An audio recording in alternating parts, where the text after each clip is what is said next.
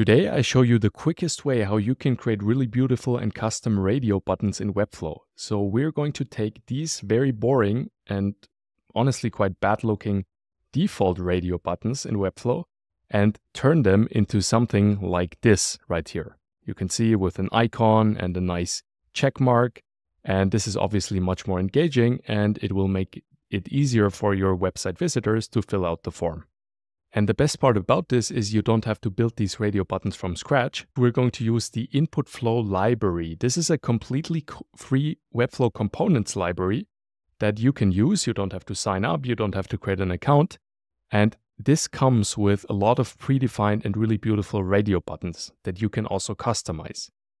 To get to this website, just go to inputflow.com slash library and then click on radio buttons. Here you can now see we have these different radio buttons with different layouts and styles that you can just copy and paste to your Webflow project.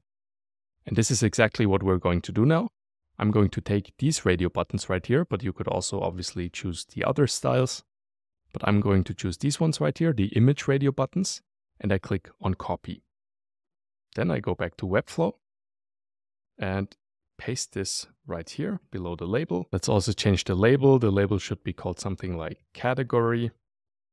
And now I can just take it from there and customize the styles of these radio buttons. So first of all, let's change the background of this. I change the background and for the color, I want to choose the color picker and choose the same background color as our input fields. That looks much better. Then I select the label of this radio button go to typography and set the color to white. That looks much better. And then I replace the icon, this image icon with my own icons. In this case, it's just the same icons, but in white. Next, I want to style this check icon of the radio button. So I select it. And for the background color, in the default state, if it's not checked or not selected, I want this to be black with a high opacity, something like this. Looks good, I think. And then I want to hide the check icon. Should not be visible here. And let's also style the checked state. So I select it again and then go to the checked state of this and switch the background color from blue in this case, this is the default one, and I want this to be yellow, so I choose the color picker again, but you can also type in your color variable or custom color here.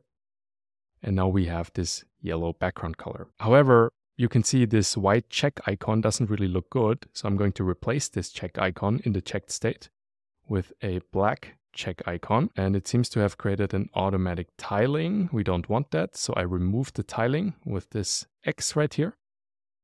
And let's also change the width. Let's make this a little smaller, maybe 70, 70. Yeah, I think that looks better. Okay, I think this already looks really good. However, you might be wondering, why does this first radio button here look so weird? Because it didn't really change when we adjusted our styles for the other radio buttons. And the answer is, in this case, there is a combo class applied to it called isChecked. And with this isChecked combo class, we want to change the styles whenever this custom radio button is checked. Um, in this case, actually, I'm going to remove the background color styling when it is checked. And I only want to add a border style. So I want to give it a border of 0.1 rem. And the color of this border should be white when it is checked. I also have to select the unchecked radio button and set the border here to 0.1 rem and in this case, I'm going to hide the border. There should still be a border so that the sizing matches, but the border in this case is going to be transparent. Only when it is selected, the border is applied. Let's publish this and have a quick look. All right, we can now see our radio buttons and you can see if I check one of the radio buttons, our custom check icon shows up with the yellow background. However, you can see this is checked combo class. So this border that is applied because of the combo class is not yet changed yet when we make a selection. And to fix that, we quickly have to go back to the input flow library. And down here where it says instructions, we have to paste this little JavaScript snippet.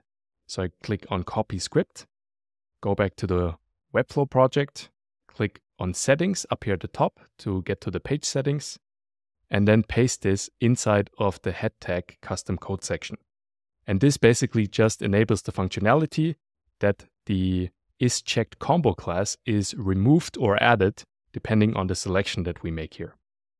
So let's click on publish and then let's reload the page. And now you can see when I make a selection, the is checked style is correctly removed and applied from the individual radio buttons. My recommendation to you is check out this entire website, especially these components, but also the instructions down here. There is a little more functionality that you can add to these radio buttons, and everything is documented here on the website.